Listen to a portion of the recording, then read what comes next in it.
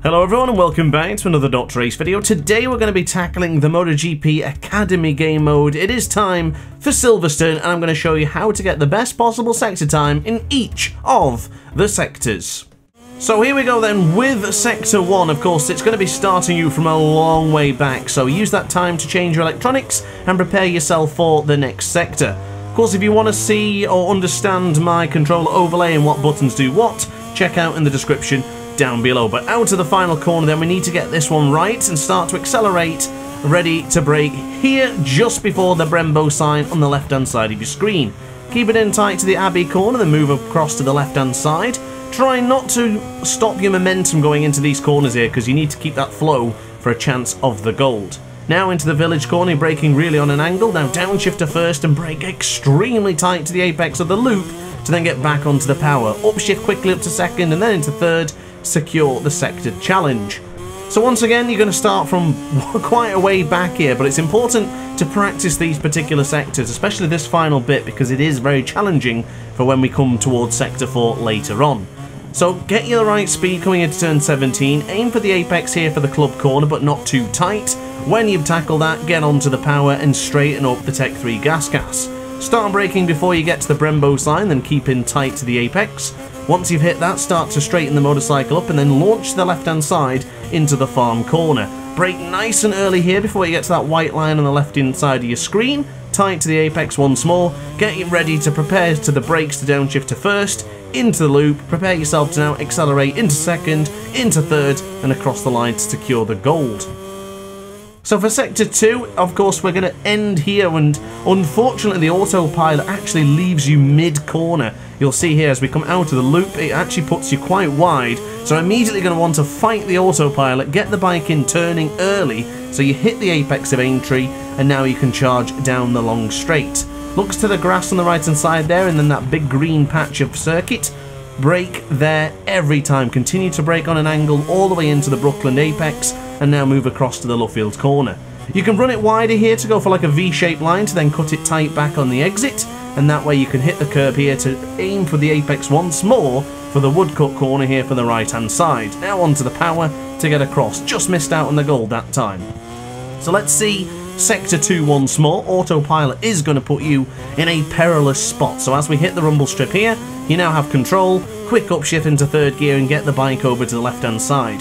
Try and avoid that rumble strip as much as you can there in the straight because it does slow you down a significant amount.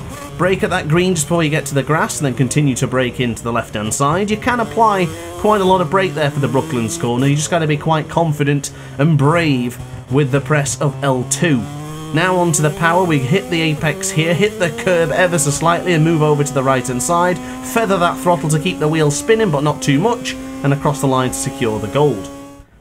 Now for Sector 3, you're going to be doing pretty much what we've just completed there out of Luffield, but the autopilot is going to give it to you quite late. So midway through Woodcote, now you have control, straighten the motorcycle up, look to your Monster Energy sign and start braking right there as you see that shadow.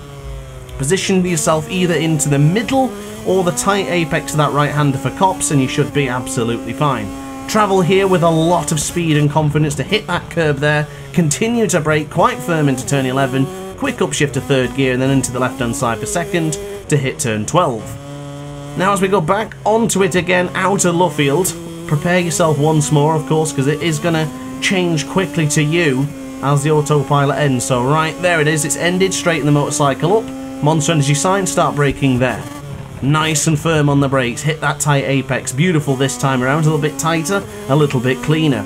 Get confident with the acceleration here because you need a lot of speed to tackle it to ensure you get through this Maggotts and Beckett sector.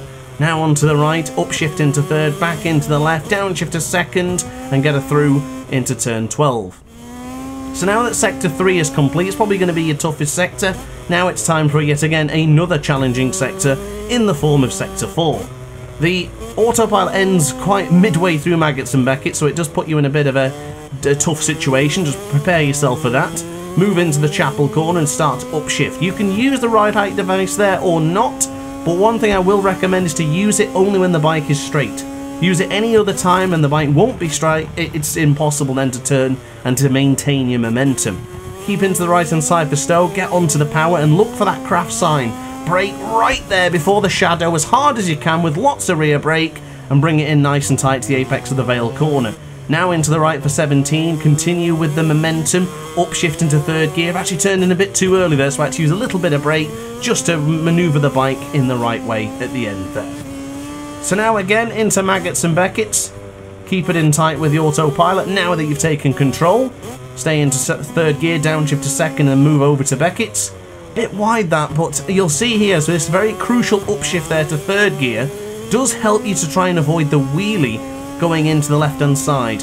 It's important that you try and avoid the wheelie as much as you can in that left hand side because once you get that wheelie, it's damn near impossible to turn in properly. So now into the right hander for Stowe, we're going to be getting onto the power once again.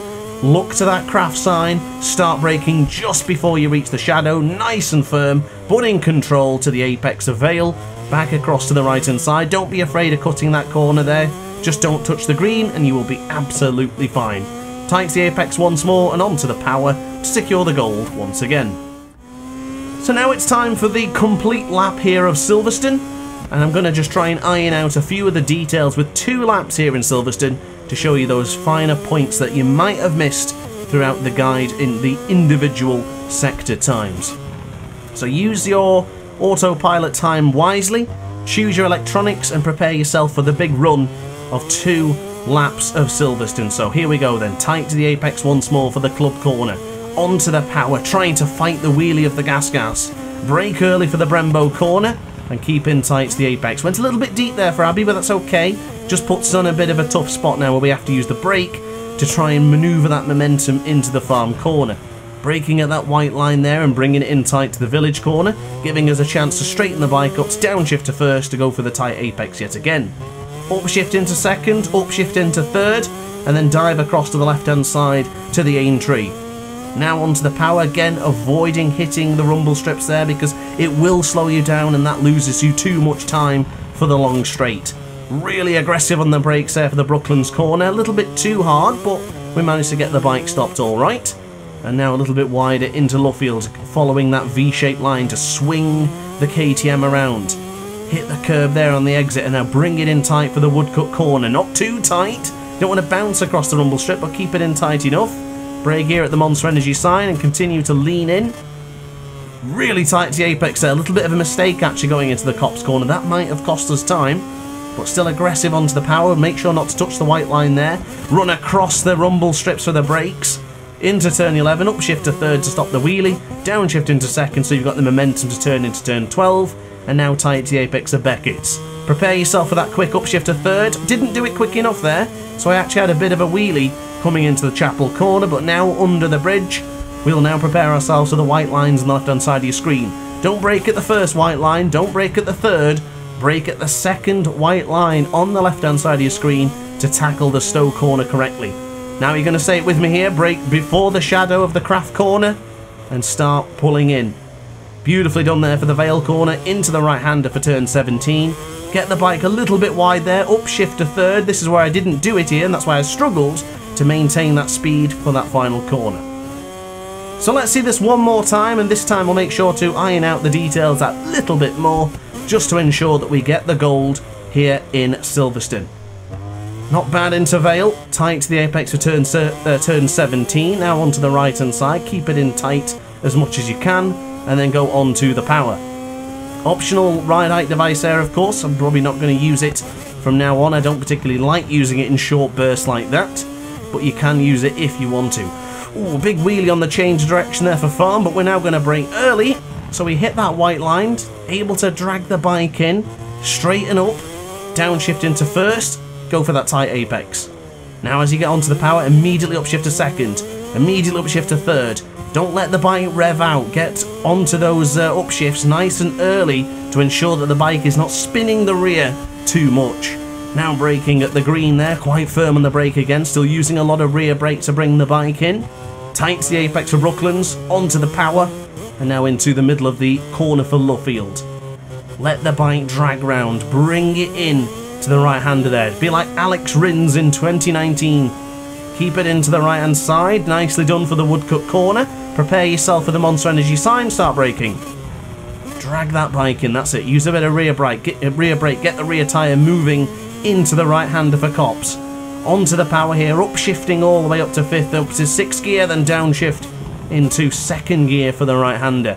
Quick upshift to 3rd gear just to stop the rear tyre from spinning too much.